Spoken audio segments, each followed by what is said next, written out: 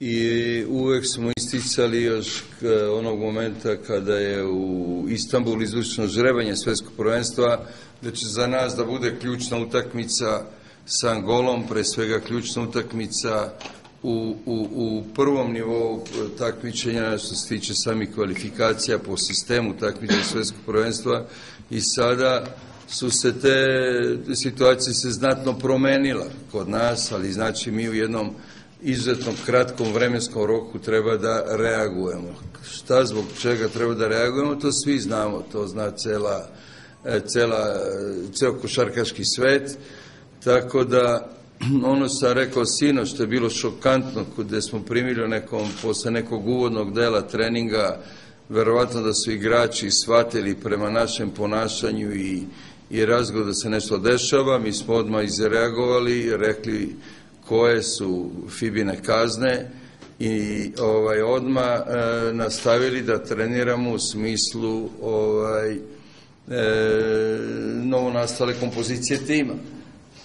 Ono što je moglo da se izreaguje ovaj, odmah posle treninga, bilo je jedno jedino pitanje koje sam je uputio igračima, da li su dvojice igrača koji su kaženi spremni ne samo da izdrže kaznu, oni moraju da izdrže jer mi nemamo pravo nikakve žalbe na to, upravo ne žalba ne odrazi izvršenje, već da budu, kad su oni izrazili svoju spremnost, da budu uz tim, znači mi praktično to znači da ćemo da igramo ovaj, na prve dve utakmice sa deset igrača, što je veliki hendikep za naš tim, i tek treću utakmicu možemo da igramo sa 11 igrača. Ja ne bih sada da komentarišem i ne želim da komentarišem odluku FIBE, ali mislim da je bilo dosta perfidno. Šta znači ta dva igrača za naš tim, mislim nije potrebno šta govorim. Krstić kao kapiten koji je na, na toj poziciji pet neki stožer i naši odbrane i napade i glavni kreator u timu i ovaj, igrač koji je najveći napredak napravio u evropskoj i svetskoj košarci u godinu dana Miloš Teodos, izgubit ćemo kreaciju, ali nadam se da ćemo imati dovoljno vremena da, da pokažemo timski duh, da budemo mentalno jaki i čvrsti, da isto tako odigramo prvu utakmicu kao što smo i rekli da je ona najbitnija, najznačajnija utakmica sa Angolom. I sada je trebalo praktično da se odluči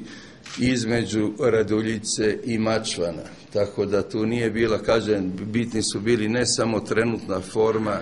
već i, i naši sledeći protivnici. Tako da je moja odluka bila da se ovaj zahvalimo na velikom trudu i radu Raduljici, da će Mačvan igrati pre svega u odnosu biti u 10 igrača u odnosu na buduće protivnike i u odnosu na formu koju je pokazao tokom celih priprema i, i pripremnih utakmica. Imamo jednu sretnu okolnost za sada, da je svih deset igrača zdravo. Imamo se, jedino je, ima jednu virozu Krstića, siguran sam da je to pod, pod,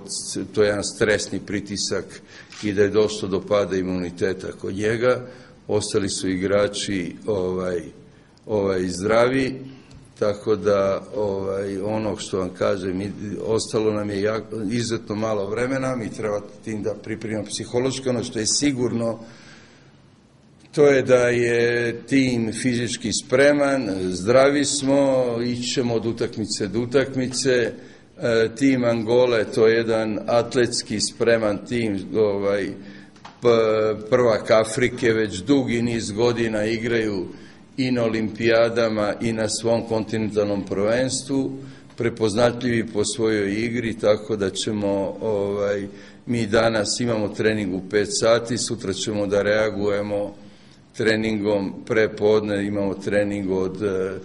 od 15 do 12 i pola 1 i sada, sada govorimo, zašto vam govorimo o rasporedu treninga, nadam se sada sa ta dva postavljena treninga da ćemo uspeti da postavimo do, dobru utakmicu protiv Angole, ona ostaje za nas i dalje ključna,